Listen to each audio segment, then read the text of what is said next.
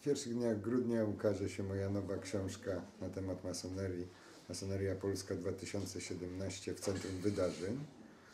Mogę zdradzić, że będą tam e, takie tematy jak kwestia banku Morgan, JP Morgan, prawda, który wchodzi do Polski i ma nam przynieść dużo pozytywnych owoców, pokazuje historię tego banku i jego powiązania masońskie, działania masońskie, między innymi finansowanie Rosji Sowieckiej, Mussoliniego, ale też jego ostatnie działania korupcyjne, na przykład w Chinach czy w Hongkongu i to, jak on niszczy poszczególne kraje, niszczy swoich klientów.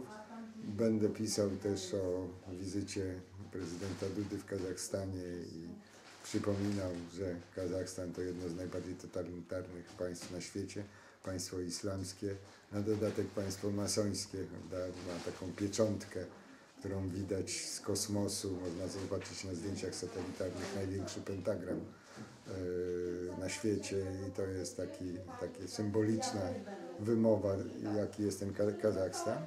No ciekawostką jest tutaj, że ambasadorem Polski w Kazachstanie został członek PiSu, który jest imamem i, i tak jak prezydent Kazachstanu sufistą, czyli e, sufiści to są tacy wyznawcy islamu, którzy mówią, że masoneria to jest tylko inna europejska forma ich doktryny.